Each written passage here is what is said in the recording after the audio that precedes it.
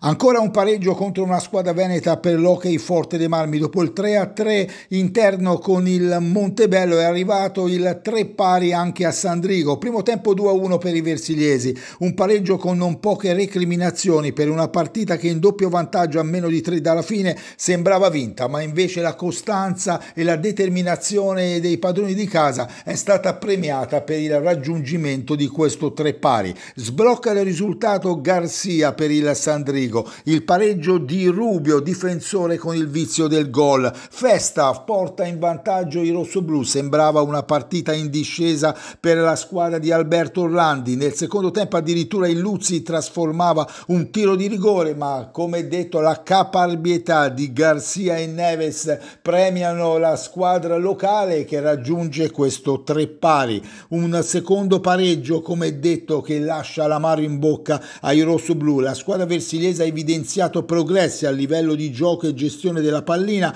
ha però pagato cari alcuni attimi di sbandamento nei minuti finali.